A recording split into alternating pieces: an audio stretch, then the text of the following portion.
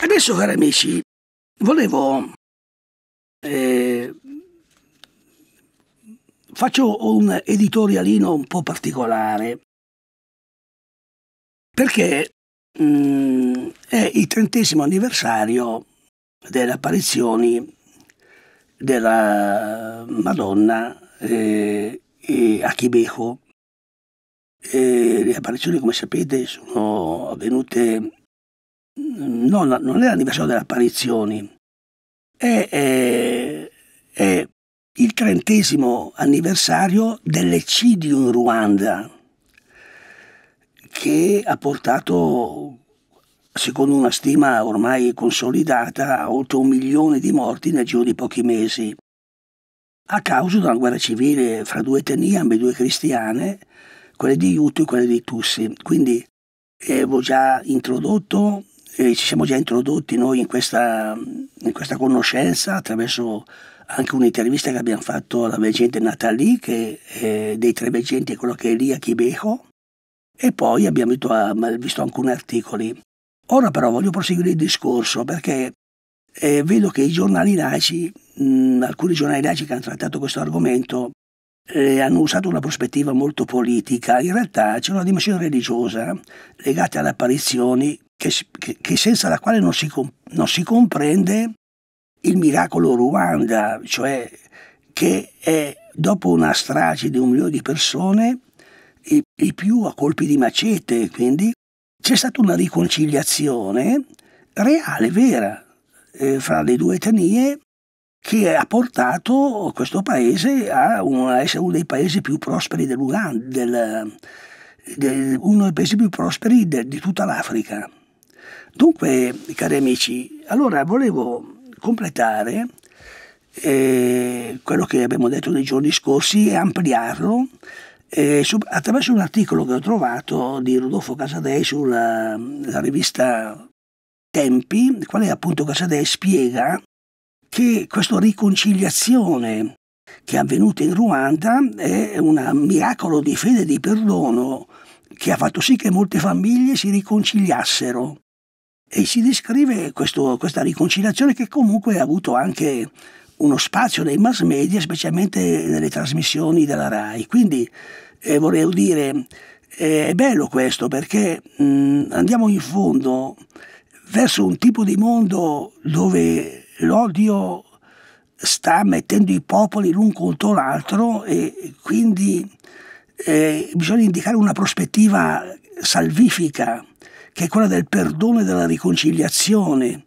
senza la quale non avremo mai il mondo della pace. Allora, prima di tutto volevo leggervi questo articolo e poi proseguiamo, eh, avendo tempo, anche per eh, vedere più da vicino eh, il ruolo delle apparizioni che sono avvenute eh, un, circa 12 anni prima che ci fosse la catastrofe in Ruanda perché le apparizioni sono incominciate nel novembre del 1982, quindi pochi mesi dopo quelle di Meggiugorie, e la grande carneficina è avvenuta nel 1984.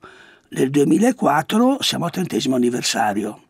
Allora, allora vediamo, cari amici. Scrive dunque Rodolfo Casadei, davvero sottotono, almeno in Italia, il trentesimo anniversario dell'inizio del genocidio del Ruanda, che si fa coincidere col 7 aprile 1994, la data in cui l'aereo che riportava in patria il presidente Hutu eh, Abiyarimana fu abbattuto da un missile presso l'aeroporto della capitale Kigali. Sulle pagine dei quotidiani nazionali importanti come Corriere della Sera e la Stampa, io ho letto l'articolo del Corriere della Sera e ho evidenziato che mancava la, la componente, diciamo, di fede, non è stata pubblicata nemmeno una riga, cioè il silenzio completo anche da parte del quotidiano cattolico Avvenire. Benché il Ruanda rappresenti uno dei paesi più cristianizzati dell'Africa subsahariana e la Chiesa e i cattolici ruandesi abbiano avuto, sia nel bene che nel male, un ruolo di rilievo nella tragedia in cui culminò la guerra civile, che fiammava il paese dall'ottobre 1990. Nel corso dei massacri che iniziarono la notte stessa dell'abbattimento del velivolo, la cui origine resta fino ad oggi misteriosa, con rimpalli di responsabilità fra i sospettati degli opposti campi e che terminarono con la vittoria dei ribelli del fronte patriottico ruandese, cioè i Tutsi, sulle forze armate governative e sulle milizie filogovernative Hutu il 15 luglio del 1994 persero la vita 800.000 appartenenti alla minoranza Tutsi, Tutsi e oppositori Hutu del governo. Quindi nel, dall'aprile, dall'aprile, in poche parole, da 7 aprile al 15 luglio, solo in quell'arco di tempo, si parla di 800.000 morti, i più a colpi di macete. Il genocidio fu organizzato e condotto dalla Guardia Presidenziale, da alcuni reparti dell'esercito e dalle milizie Hutu estrem- eh, estremiste, eh, sotto la direzione di ministri, generali e prefetti. Molti di loro sono stati processati e condannati dal Tribunale Penale Internazionale per il Ruanda, istituito dalle Nazioni Unite, altri dalle autorità del nuovo governo ruandese, altri ancora sono morti in clandestinità o in esilio. Nel deludente panorama mediatico italiano ha salvato il proprio onore proprio la RAI. Nei suoi telegiornali e su RAI News ha riproposto la figura di Pier Antonio Costa, il console onorario a Kigali, che riuscì a mettere in salvo, trasferendoli all'estero con un lasciapassare diplomatico e a proprie spese almeno 300.000, do- 300.000, 300.000 dollari per organizzare i viaggi e corrompere guardie miliziane al confine fra Ruanda e Burundi, ha salvato circa 2.000 Tutsi di ogni età e condizione sociale, inclusi 375 bambini di un orfanatrofio. Ci sono sempre queste figure straordinarie, eh, spesso, spesso, italiane, eh, in situazioni estreme. Non, è, non, non sono rare queste figure che ci onorano. Su Rai News è stato anche proposto un filmato in cui viene data la parola ad Anne, Marie e Celestine, vittime, vittima e carnefice, uno è vittima, l'altro carnefice, del genocidio che hanno vissuto per il percorso dell'espiazione della colpa, del perdono e della riconciliazione. Quindi eh, è stata presentata su Rai News queste due figure, uno il carnefice e l'altro la vittima, che hanno fatto un percorso dell'espiazione, della colpa, del perdono e della riconciliazione. Bellissimo. Però sono stati tanti questi fenomeni. Molti colpevoli del genocidio se la sono cavata con qualche anno di prigione perché considerati semplici esecutori che hanno agito per il lavaggio del cervello o per ricatti da parte dell'autorità.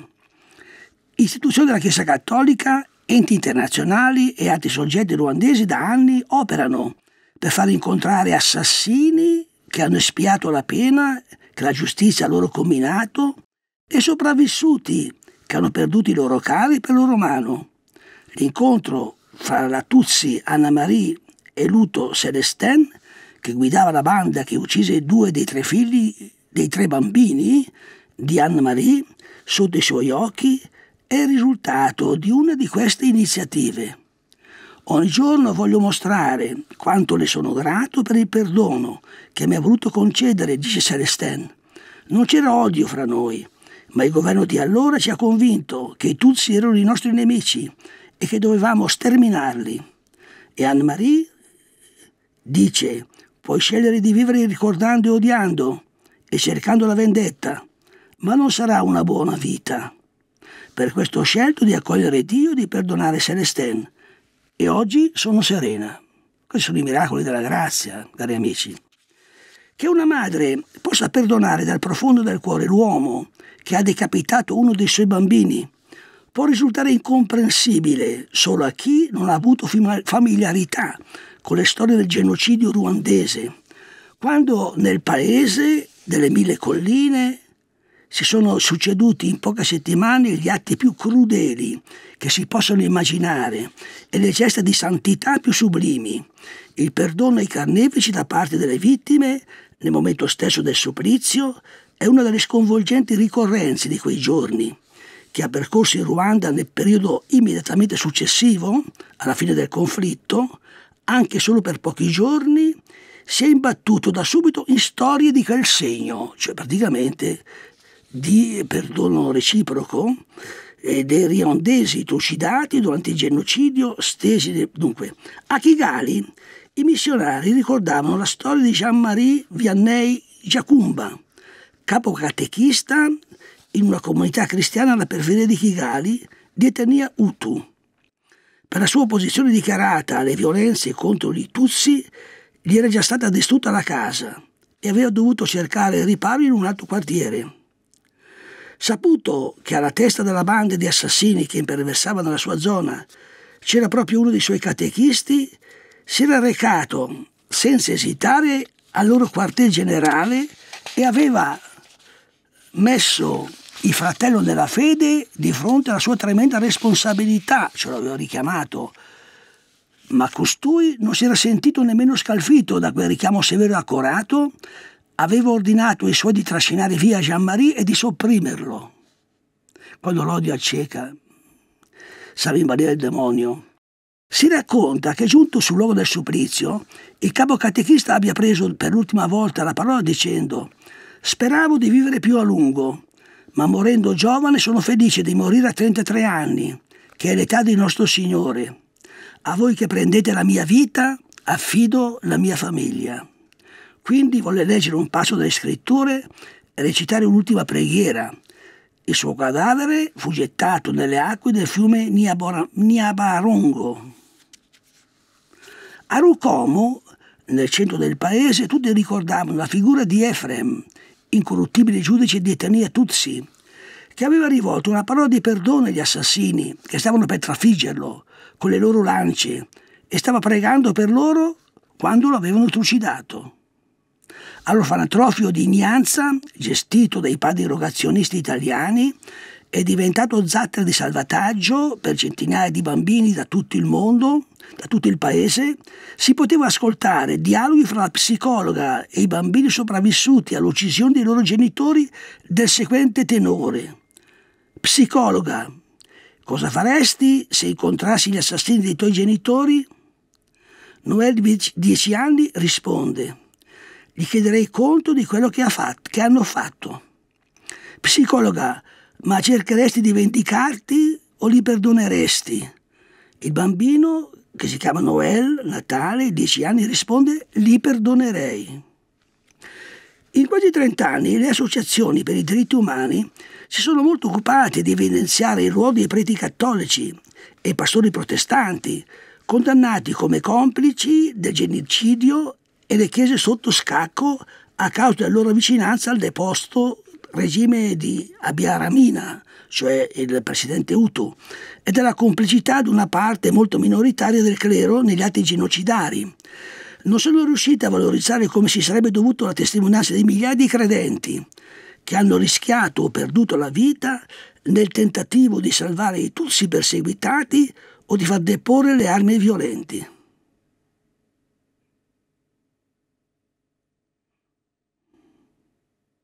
Quindi c'è stata una parte della Chiesa e del clero eh, importante che hanno, hanno e migliaia di, di, laici credenti che hanno perduto la vita nel tentativo di salvare i Tutsi perseguitati e di far deporre le armi violenti. Solo nel caso di Konoji Cyprien Rugamba e Dafros Mukasanga, fondatore della comunità Emanuele in Ruanda, che ospitava centinaia di bambini di strada, è stato iniziato il processo di beatificazione del 2015. Lui, un Utu, molto famoso, era poeta, musicista, compositore e coreografo e per anni responsabile dell'Istituto di ricerca scientifica del Ruanda, un dissidente era e un pacifista, inviso al regime.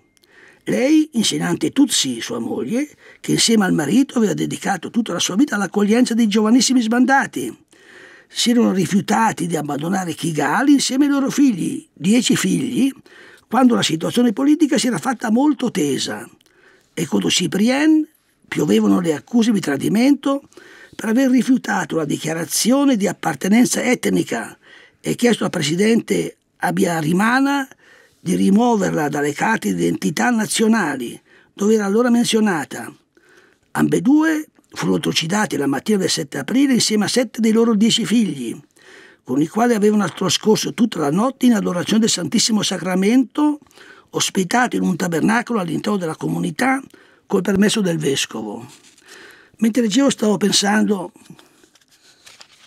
al futuro, cari amici, perché viviamo in un mondo che c'è tanto di quell'odio che mi chiedo cosa succederà, cari amici, e come noi dovremo saperlo affrontare quest'odio facendo prevalere il bene sul male, l'amore e il perdono sull'odio e la vendetta.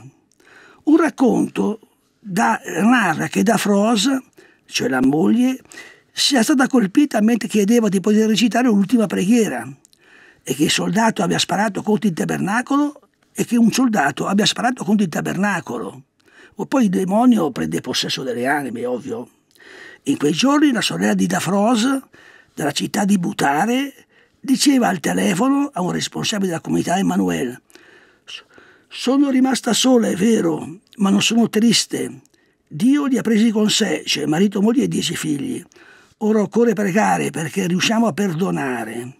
Nessuno conosce tutti gli orrori che il diavolo può mettere nei nostri spiriti. Bello questo. Nessuno conosce tutti gli orrori che il diavolo può mettere nei nostri spiriti. Tutti i fratelli della comunità di Butare pregano perché restiamo, perché perdoniamo. Negli ultimi trent'anni, conclude l'articolo, eh, molto bello, che stiamo leggendo, negli ultimi trent'anni, mai come in, occasione dell'attuale anniversario, la testimonianza di fede e di perdono del Ruanda, uscito dal genocidio, sarebbero state una bussola preziosa per i tempi di interminabile guerre e di vendette implacabili che stiamo attraversando. Peccato per l'occasione che si è persa, cioè si è persa l'occasione da parte della stampa, perché la stampa è così, e non, non cioè gli aspetti, aspetti veramente profondi che, che sono quelli della, della, del perdono e della riconciliazione che sono fondamentali eh, vengono tralasciati e questo, cari amici, è come privare il mondo di una medicina senza la quale non guarisce le sue ferite. Mi ricordo sempre quello che diceva San Giovanni Paolo II quando sono crollati i regimi comunisti nel 1991, che c'era il pericolo appunto che eh, diciamo, chi allora deteneva il potere fosse poi perseguito da vendette di vario genere, eh, non solo i detentori del potere ma anche i loro seguaci. E San Giovanni Paolo II non si stancava di insistere sulla riconciliazione nazionale, cioè ricominciare tutti da capo in una società più fraterna. Allora questo riuscì i paesi del, dell'est europeo sono rifioriti e, e, così anche per quanto riguarda questo mondo dilaniato dall'odio, cari amici. E l'odio nei cuori e anche fra le nazioni, fra i popoli, ha detto la Madonna. E mi pare nel messaggio de, del gennaio di quest'anno. E non c'è altra medicina che il Vangelo del perdono. Questo è vero sempre è vero sempre, ma soprattutto nelle grandi tragedie che stiamo vivendo oggi. Pensate per esempio alla guerra in Ucraina, la guerra in Ucraina. pensate che, che, che ferite ha lasciato nei cuori e la riconciliazione sarà un miracolo della preghiera. E la medesima cosa in Medio Oriente. Solo che i cristiani hanno questa grazia di sapere che eh, le parole di Cristo, come il Padre perdona voi, così perdonate i fratelli. Ma chi non, conosce, chi non conosce queste parole ha bisogno di buoni esempi. Adesso, cari amici, eh, mi ha scritto uno che mi ha fatto riflettere, mi ha detto, ma Davide, lei pensi a queste apparizioni a Chibeco, dove la Madonna ha mostrato ai veggenti il, lo scenario tremendo lo scenario tremendo di migliaia e migliaia di corpi nei laghi, nella regione dei Grandi Laghi, anche nel fiume, e trascinati via dalla corrente. Ha fatto vedere questo che sarebbe successo e mi diceva, mm, Padre ma queste cose la Madonna le ha mostrate anche ai viaggetti di Medjugorje, perché la Madonna eh, a Miriana, quando ho dato il rotolo, ha detto Miriana ti ho mostrato molte cose terribili. E, e mi diceva lui accadrà anche a noi, cari amici. Siamo ancora in tempo di grazia e di preghiera. Non aspettiamo quello che accadrà, facciamo sì che quello che accade sia la vittoria del bene sul male, della verità sulla menzogna, dell'amore sull'odio. Questo è il nostro compito oggi. Però anche per il grande pubblico che non conosce molto le apparizioni di Quebec, che sono comunque le, le prime apparizioni per l'Africa, ma sono di un'importanza mondiale, eh, sono, sono, anche per loro che le hanno vissute, sono eventi mondiali per tutto il mondo, non sono soltanto per l'Africa o per quella regione. E vorrei appunto dare alcune notizie che trago che ho tratto molto sinteticamente eh, di queste apparizioni che hanno avuto, eh, secondo questa ricostruzione eh, che ha fatto Wikipedia, eh, in modo particolare tre ragazze di un collegio appunto eh, nella zona di Chibeco, gestito da suore e frequentato da un centinaio di ragazze della zona. Le apparizioni sono avvenute sabato 28 novembre 1991, verso le 12.35. La sedicenne Alfonsine Mumureche si trovava nel refettorio insieme alle compagne quando, secondo quanto riportato nel suo diario, sentì una voce che la chiamava. Recatasi nel corridoio accanto al refettorio, vide una donna di straordinaria bellezza, vestita di bianco con le mani giunte. Quando Alfonsine le chiese chi fosse, rispose Io sono la madre del Verbo, quindi la madre di Dio, del Verbo fatto carne. Secondo il racconto della ragazza, la Madonna esortò alla preghiera lei e le sue compagne, prima di scomparire lentamente dopo un quarto d'ora circa. Le compagne di Alfonsine non le credettero, pensando che fosse stata vittima di un'allucinazione. Siccome la prendevano in giro, la ragazza chiese alla Madonna di apparire anche ad altre ragazze. La sera del 12 gennaio 1982 la Madonna apparve allora alla diciassettenne a Nathalie, senza che le ragazze del collegio cambiassero opinione. Due mesi più tardi, il 2 marzo 1982, la Madonna apparve infine anche la ventunenne Marie Claire, che era la più scettica del gruppo Marie Claire convinse le altre ragazze della veridicità dei fenomeni.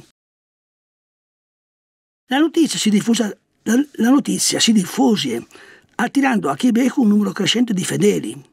Sempre secondo il racconto, il 19 agosto 1982 ci fu un'apparizione di otto ore, durante la quale la Madonna mostrò ai veggenti le immagini dei massacri che sarebbero poi avvenuti realmente nel 1984 Maria sarebbe apparsa per invitare non solo il popolo ruandese, ma l'umanità intera alla conversione e al digiuno i, i, dei veggenti di Chibeco e anche i fedeli di Chibeco.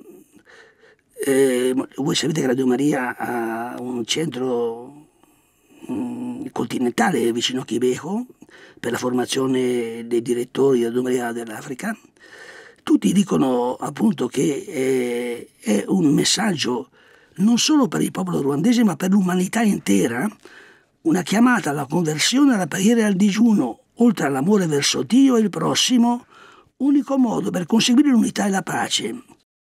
Nei suoi messaggi la Madonna avrebbe detto fra l'altro questo mondo è sull'oro di una catastrofe, cose ripetute anche a, a Meggiugorie. Meditate sulla sofferenza di nostro Signore Gesù, e sul profondo dolore di sua madre. Pregate il rosario, specialmente i misteri dolorosi, per ricevere la grazia di pentirvi. Sono venuto per preparare la strada a mio figlio, per il vostro bene. E voi non lo volete capire. Il tempo rimasto è poco e vi siete distratti. Siete distratti dai beni effimeri di questo mondo. ho visto molti dei miei figli perdersi e sono venuta per mostrare la vera strada. D'altra parte anche Meggiore, ma cosa dice? Eh, vi siete persi, figli miei. A Chibeco è stato creato un santuario intitolato Nostra Signora di Chibeco e Nostra Signora dei Dolori. Vediamo allora brevemente quello che è accaduto nella guerra civile. Nella guerra civile degli anni 90, fra le etnie Tutsi e Hutu, ci furono massacri spaventosi. Il 19 agosto 1982 i ragazzi riferirono di aver avuto delle visioni impressionanti, fiumi di sangue, persone che si uccidevano a vicenda, cadaveri abbandonati, senza che nessuno si curasse di seppellirli e teste mozzate. Proprio il villaggio di Chibeco, circa tra i 160.000 e i 200.000 abitanti, è stato uno dei centri del genocidio che fece fra, in tutto fra le 800.000 e un milione di vittime in Ruanda e centinaia di migliaia di vittime nelle successive guerre che afflissero l'intero continente africano, anche nella stessa scuola dove i veggenti avrebbero avuto le prime apparizioni.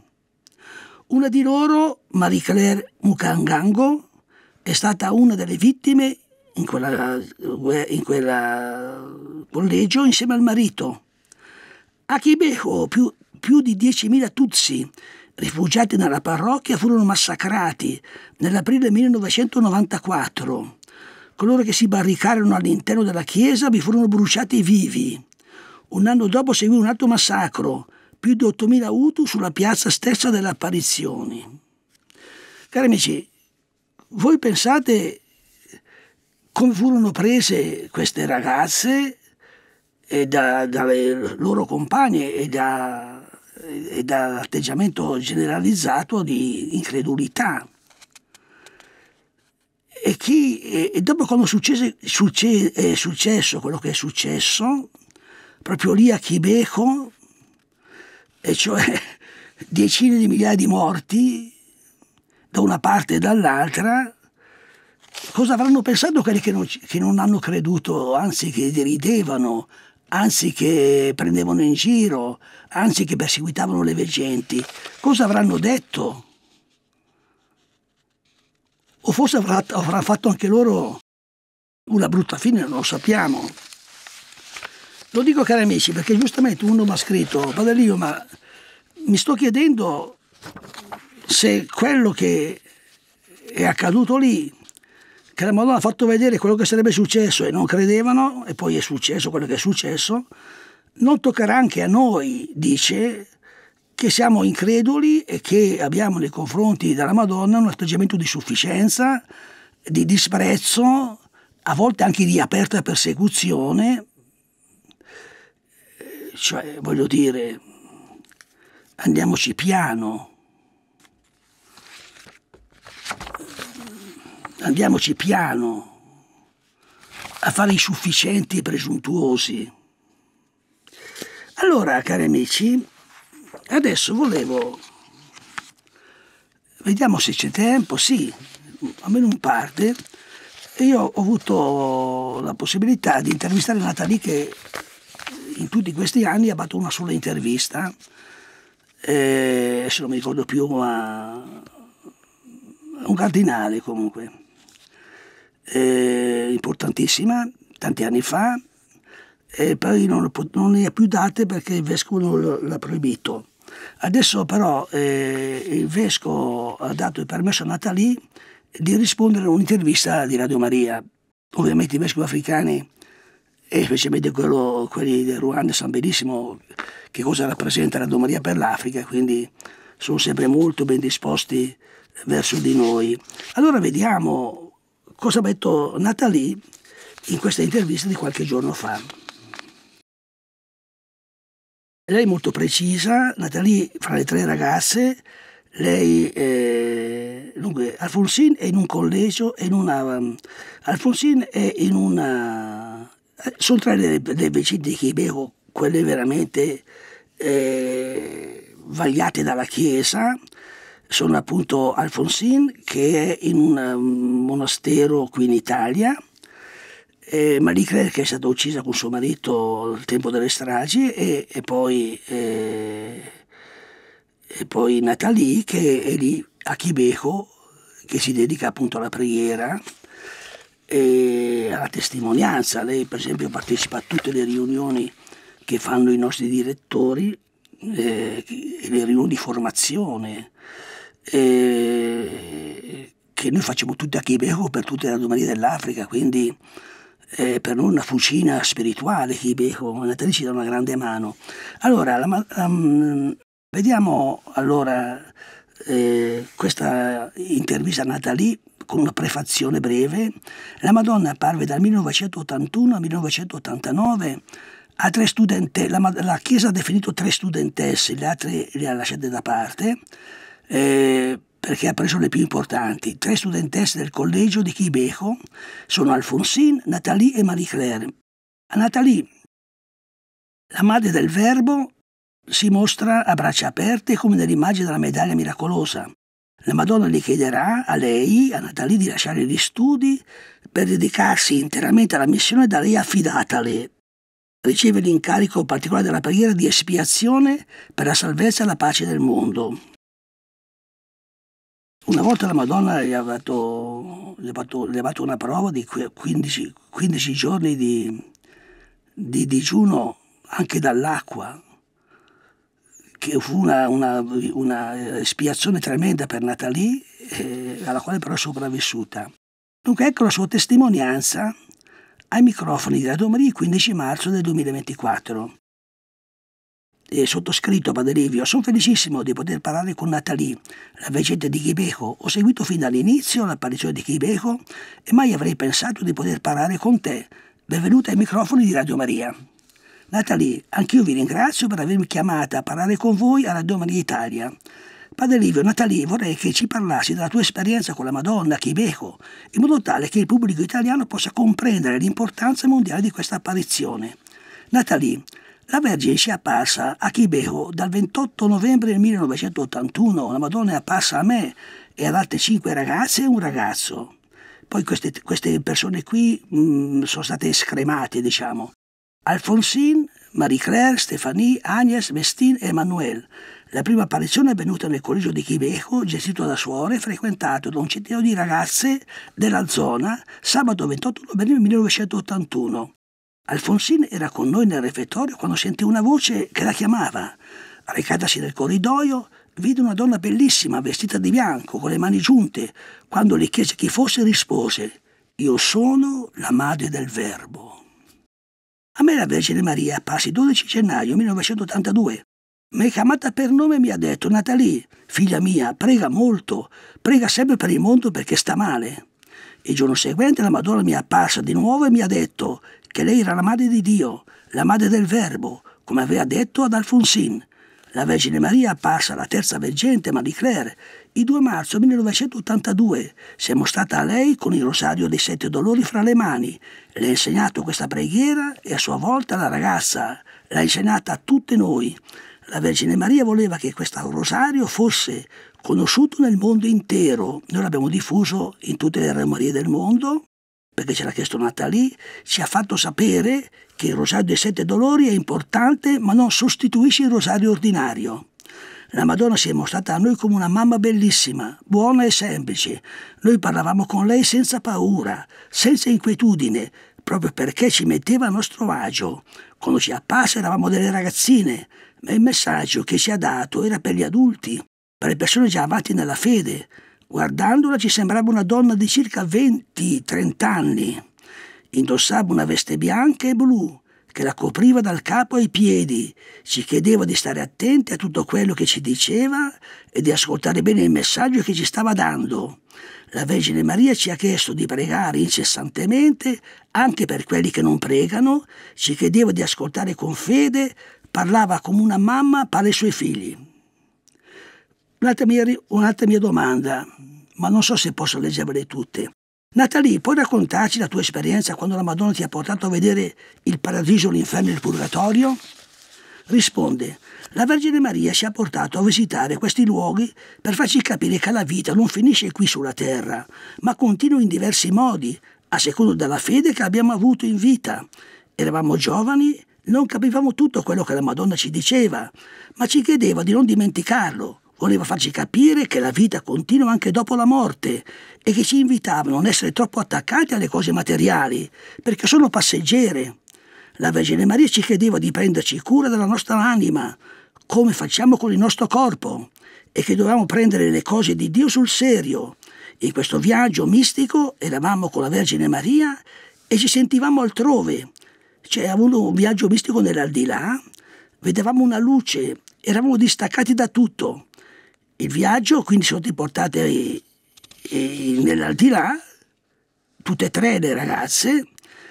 Attenzione, il viaggio è durato più di 12 ore durante le quali la Madonna ci ha fatto vedere diversi tipi di persone e diversi luoghi. La prima cosa che abbiamo visto sono stati gli angeli e i santi, quindi il paradiso. Gli angeli avevano vesti bianche, la loro fisionomia era quella delle persone bellissime. La Madonna ci ha spiegato che gli angeli ci aiutano. Abbiamo visto anche un altro luogo dove ci sono persone che di tanto in tanto sorridono, ma non sono pienamente felici. E se il purgatorio infine ci ha portato un altro luogo molto brutto, dove ci sono persone cattive. La Vergine Maria ha attribuito a questi luoghi dei nomi diversi rispetto a quelli che noi conosciamo dal Catechismo della Chiesa Cattolica. Ad esempio, dove vivono le persone cattive è il posto delle persone ribelli, quindi noi li chiamiamo i dannati, la Madonna li ha chiamati ribelli, che non ascoltano. Il luogo dove ci sono le persone che sorridono di tanto in tanto è il luogo del discernimento, in quello che noi chiamiamo purgatorio. Ci sono le persone che si purificano, quindi si purificano e, e crescono nel discernimento. In quello che noi chiamiamo il paradiso ci sono persone felicissime e la Madonna ha detto che il luogo della pienezza, della gioia e quelli che vivono lì sono benamati da Dio, i benamati di Dio. Quando siamo rientrati da questo viaggio di 12 ore, la Vergine ci ha detto di pregare sempre e di seguire tutto quello che lei avrebbe detto per la salvezza. A me ha affidato il messaggio particolare per la preghiera delle anime del purgatorio. Inoltre mi ha chiesto un tempo di digiuno della durata di 14 giorni durante la Quaresima dell'anno 1983. Durante quel periodo ricevavamo solo la, la Santa Comunione. E questo è, è, è tremendo eh, sacrificio che la Madonna ha chiesto a Natalì per le anime del purgatorio. Un tempo di digiuno totale, eh? né pane né acqua, della durata di 14 giorni, durante la Quaresima dell'anno 1983. Durante quel periodo ricevevamo solo la Santa Comunione. Lei riceve solo la Santa Comunione. Questo viaggio mistico mi ha aiutato a capire che la nostra vita veramente non finisce qui sulla terra. La Vergine Maria mi ha dato il compito di pregare per le anime del purgatorio proprio durante quel digiuno prolungato la Madonna ci ha parlato della sua sofferenza per coloro che pensano che la vita sia unicamente fatta per mangiare, bere e soddisfare i bisogni del corpo. Ruberò qualche minuto alla trasmissione perché voglio finire. Dunque, eh, l'ultima domanda a Natalie. Padre Livio, cioè, eh, è un'intervista quindi, la pubblicheremo sul giornalino prossimo. Grazie Natalie per questa bellissima testimonianza. Vorrei che ci facessi un'esortazione agli ascoltatori di Radio Maria affinché seguano sempre la Madonna. Ecco la sua esortazione. Vorrei dire innanzitutto agli ascoltatori di Radio Maria di dare importanza al messaggio che la Vergine Maria ha dato da Chibeco al mondo intero, perché come lei stessa ha detto è indirizzato a tutti. Sul messaggio della Vergine Maria ci sarebbero tante cose da dire. Lo si può trovare in tanti libri, su internet e anche Radio Maria ne parla e lo divulga Inoltre la Madonna ha detto che desidera che la gente venga a Chibeco in pellegrinaggio. La Vergine Maria insiste innanzitutto sulla crescita nell'amore per Dio. Bisogna amare Dio al di sopra delle altre cose. La Madonna ci invita anche a fare passi avanti nella fede e fare attenzione alla miscredenza che si sta diffondendo senza che noi ce ne accorgiamo. Diventiamo ateici, atei senza accorgercene. Ci ha chiesto anche di pregare incessantemente senza ipocrisia. La nostra preghiera deve essere unita, nutrita dal senso di sacrificio, da atti di penitenza, per arrivare alla vera conversione. La Madonna Beto d'Alfonsin, che la sua vocazione era la consacrazione, le ha chiesto di pregare tanto per la Chiesa che negli anni a venire si sarebbe imbattuta in diversi problemi. è in un Carmelo in, una, in Italia in un convento di clausura Alfonsin. Attualmente Alfonsin vive in un convento della comunità di Betlemme a Gubbio in Italia. A Marie Claire la Madonna ha detto che la, particolare, la sua vocazione era quella di essere una moglie e una mamma e le ha dato di pregare per le famiglie. In particolare le ha chiesto di continuare a insegnare la devozione del Santo Rosario dei Sette Dolori. Marie Claire e suo marito sono stati uccisi. Nel 1994 Dio li accolga nel suo regno. A me la Vergine Maria ha chiesto di rimanere qui a Chibeu e pregare molto per il mondo, perché sta per cadere nell'abisso. Mi ha chiesto anche di accettare la sofferenza come penitenza per ottenere la conversione dei ribelli. La mia missione è anche quella di pregare per le anime del purgatorio. La Madonna ci ha anche detto di avere fiducia in lei e di chiedere il suo soccorso.